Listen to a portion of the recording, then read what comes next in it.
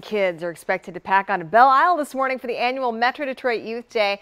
But a lot of folks are wondering if the weather's going to be good for it. Let's go to live. Uh, live Action News reporter Matthew Smith. He spoke with organizers. They're hopeful, right, Matt? Yeah, weather, sensitive subject with them right now. But they are hopeful. You can see everybody actually out here right now. They're getting ready for the events. They were ready for the rain, though. They even had the speakers covered overnight. You know, in 20 plus years of having this event, they said they've never had to deal with a weather event. And this event, it does stretch a long ways back. We're actually talking about a pretty tragic event that bred this beautiful thing that they're doing to help these kids out.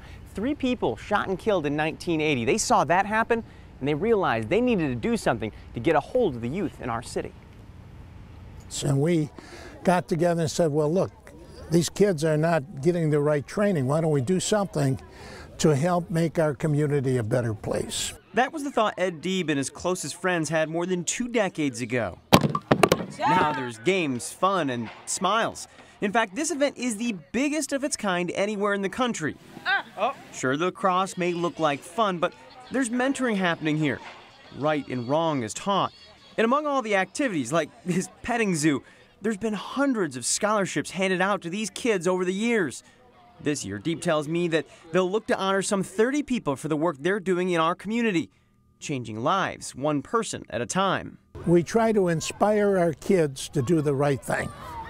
We want to gear them in the right direction, go to school, get good grades, go on to college, and um, come back to Michigan as our future leaders.